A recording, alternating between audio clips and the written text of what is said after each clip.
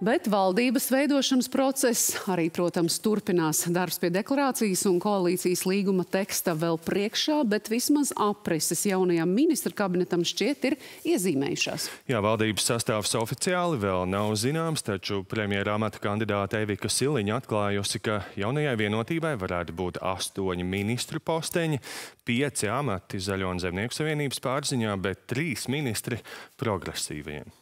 Jā, un arī par to, kuri varētu būt ministra amata kandidāti, turpina Madara Līcīte. Ar atskaiti par to, kā sokas nākamās valdības veidošana, šorīt uz Rīgas pili devās premjera amata kandidāte Evika Siliņa. Šī bija pirmā viņas tikšanās ar prezidentu Edgars Rinkēviču, pēc tam, kad zināms, ka koalīcija veidos trīs partijas, pretēji prezidenta redzējumam par iespējamu plašāku koalīciju. Prezidents izrādīja izpratni par to, ka šobrīd ir piedāvājums veidot koalīciju no trīs partijām, kas ir jaunā vienotība, Zaļā zemnieku savienība un progresīvie un nu, novēlēja izturību, lai veidotu arī tālāk. Siliņš uzsver, ka joprojām nav panākta galīgā vienošanās par amatu sadalījumu valdībā. Viņa atklāja, ka vienotībai varētu būt astoņi ministru amati.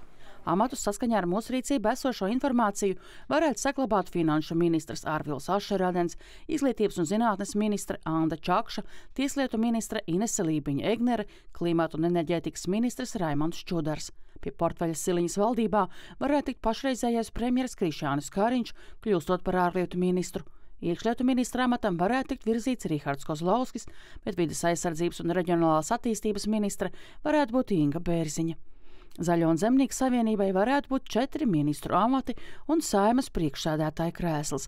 Ekonomikas ministra amatam plānots virzīt Kasparu Melni, labklājības ministra amatam Uldi Auguli, zemkopības ministra amatam Armandu Krauzi, bet par kultūras ministru varētu kļūt Gunārs Kūtris. Savukārt saimas priekšsēdētāja amatam plānots virzīt Viktoru Valaini. Progresīvajiem nākamajā valdībā būs trīs ministru amati Satiksmes ministrs varētu būt Kaspars Briškens, aizsardzības ministrs Andris Sprūts, bet par veselības ministru varētu kļūt Edgars Lapsvīrs.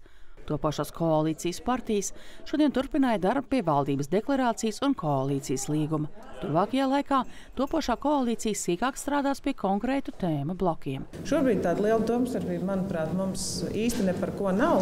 Vairāk diskutējam, kā eh, šī valdība mazliet savādākā veidā varētu strādāt. Mēs um, šajā brīdī liekam uh, ļoti nopietnus pamatus uh, ļoti ilgspējīgai un uz rīcību vērstai valdībai, kas uh, jau tuvākā laikā pēc valdības izveidošanas sniegs sabiedrībai ļoti skaidru atbildi uz tiem jautājumiem, kas viņiem šodien ir sasāpējušies. Mēs vēlamies redzēt pārmaiņas sabiedrībā. Un Un iepriekš minētās prioritātes, kas saistās ar veselības aprūpi, kas saistās ar cilvēktiesībām, ir tās, kas, kam attiecīgi arī šajā procesā mēs pievērsam īpašu uzmanību.